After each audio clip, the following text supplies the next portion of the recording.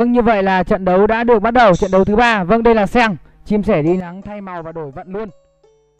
Các bạn có thể nhìn thấy một trận solo giam đùm mà lại được trúng vào Seng. Còn anh Cường, anh Cường Pamiran. À vâng như vậy là kèo này hay. Vâng hai game thủ của chúng ta rất là hay. Tôi tưởng dừng Seng là oai rồi nhưng mà Pamiran hoàn toàn có thể gây đột biến cao. Làm gì đây? Tôi thấy chim sẻ đang đi ra bãi hiêu.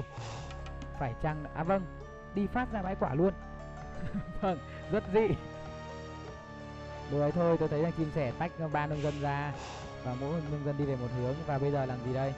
À vâng đóng hết ăn yêu trước chim sẻ đánh theo kiểu trung quốc. Một nông dân vâng có 10 thực đổ về là ngon rồi một nông dân khác thì đang đi dò. Chuẩn luôn rồi. Vâng các bạn có thể thấy ăn hiêu trước bốn nông dân hợp lý. Nông dân sang 35 thực.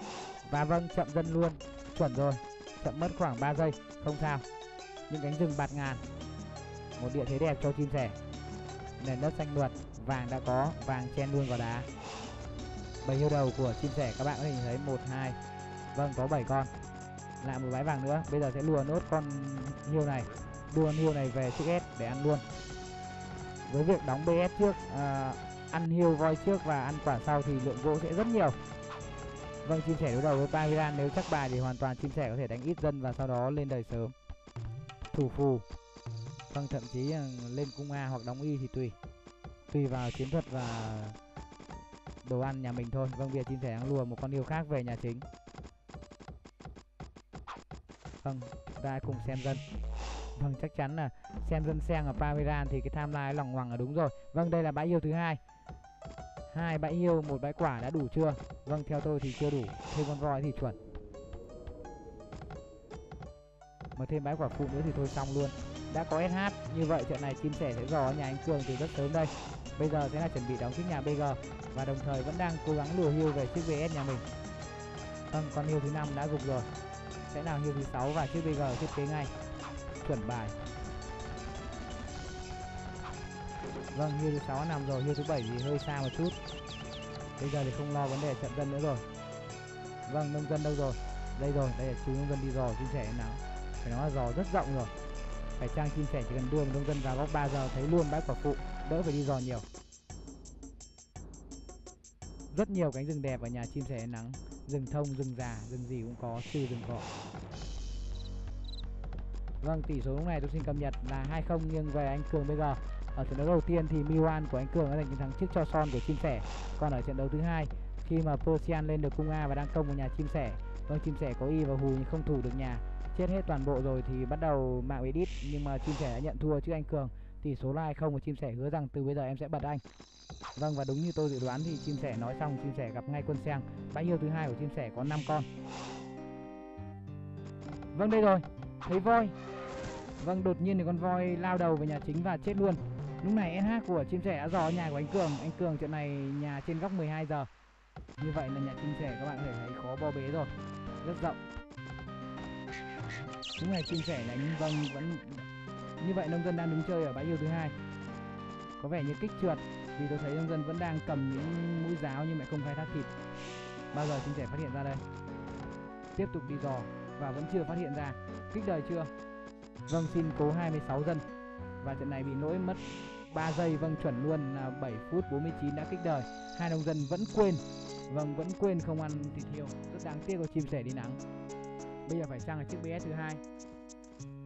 Không chim sẻ đưa nông dân đi nhưng không biết để làm gì. Vâng tôi nghĩ là đóng chiếc BS rồi. Vâng cuối cùng thì nông dân đã phát hiện ra rằng mình đã quên ăn thịt hiêu con nh tôi không hiểu dò xuống góc 6 giờ để làm cái gì? Vâng, BB và BS Đây sẽ là BM Vâng, đây sẽ là BM Các bạn có thể nhìn thấy. Và BL tôi nghĩ đóng ngay ở chỗ bãi quả đầu này thôi Để bảo vệ nông dân ăn vàng. Chúng ta hãy cùng xem anh Cường đánh bao nhiêu dân. Và Anh Cường đánh 18 dân. Timeline lai thì không phải bàn rồi. Seng và Pamiran nhìn nó quá chênh lệch.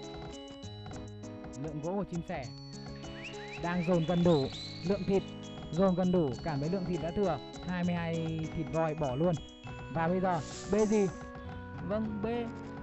Vẫn chưa thấy B. Vâng đây là BM Vâng BM đóng ở đây. Còn đây mới là BL Vâng trái với dự đoán của người bình luận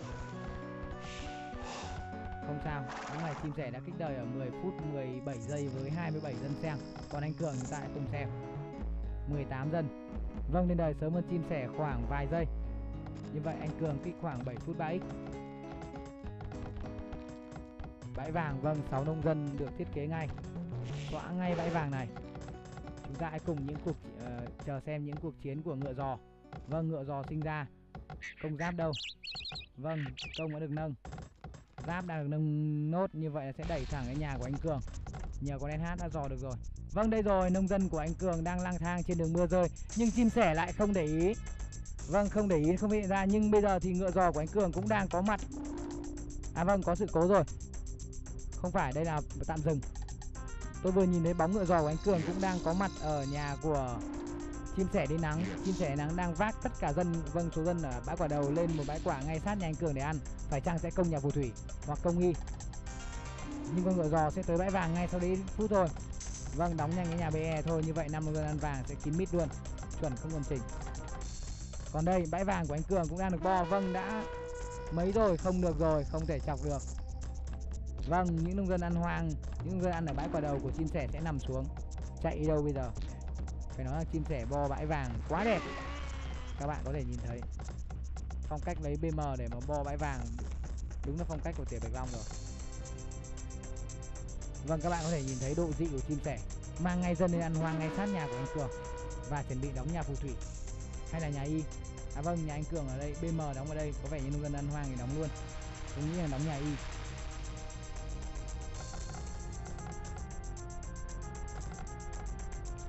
Vâng, rất nòng hoàng, vâng, đâm đầu vào BB của anh Cường bây giờ rồi bị phát hiện chú nông dân này sẽ chết ngay. Vâng, đúng ở đây thì anh ấy nhìn thấy nông dân và nạc đà sinh ra sẽ cho teo đời luôn. Vâng, đã lên đời ba rồi, đây là nhà phù thủy thủ ở nhà, chúng ta hãy cùng xem. Vâng, như vậy anh Cường đã lên đời sau chia sẻ một chút. Vâng, lên đời hai sớm hơn lên đời ba thì chậm một chút. Không được rồi. Các bạn có thể nhìn thấy quá nhọ. Nông dân ăn hoang ngay sát nhà của anh Cường bị anh Cường đóng nhà BL. Vâng các bạn có thể nhìn thấy đây là nhà BL của anh Cường. Bốn lạc đà đều như vắt chanh, vẫn đang ăn hoang những chú voi và những con hiêu đây là nhà phù thủy. Tôi đảm bảo với các bạn, giữa nhà hai nhà BL sẽ là nhà phù thủy. Vâng chim sẻ cầm xe, nhưng mà lợi thế của chim thì bây giờ không còn nhiều. Khi mà chim chỉ đánh một nhà BL và còn anh Cường sóc hai nhà BL đều như vắt chanh, lạc đà Pamiran thì các bạn có thể biết. Vâng đúng rồi. Xác dân hai nông dân đứng nhà BB và đã nằm xuống. Chim sẻ đang bị đè tham rồi. Vâng chắc chắn là như vậy. Tôi sẽ cùng xem timeline. Vâng chim sẻ chưa kim được và chết 6 Timeline anh Cường đã bắt đầu đè dần lại tham. Bây giờ thì chim sẻ đang có hai phù thủy đứng ở nhà. Vâng một phù thủy mang đi công một phù thủy đứng ở nhà thủ. Nông dân ở nhà chính vẫn xin để có thể vẽ ruộng. Vâng điên cuồng vẽ ruộng. Vâng những chiếc ruộng hơi xấu xí của bí một chút. Vâng nếu để anh Cường Vâng anh Cường đây rồi anh mang ra đi đâu đây? Đóng nhà bg ăn bãi quả mà chim sẻ lúc nãy vừa ăn. Còn vâng còn chim sẻ thì vẫn đang thủ ở nhà thôi. Tản phù thủy đi khắp nơi trong nhà mình để có thể thủ lại được những con lạc đà của anh cường bg vâng phù thủy đi rất năn néo tôi ra các dự đâm đầu con sư tử và sẽ bị cắn chết. Bây giờ, pha tấn công của anh cường bg đây rồi. Năm lạc đà và một ngựa giò đang công vào nhà bl của game thủ chim sẻ đi nắng. Vâng sửa e phù thủy đâu. Vâng bây giờ thì lại tản ra chán, bây giờ phải tập hợp lại để có thể phù được. Phá bb thôi.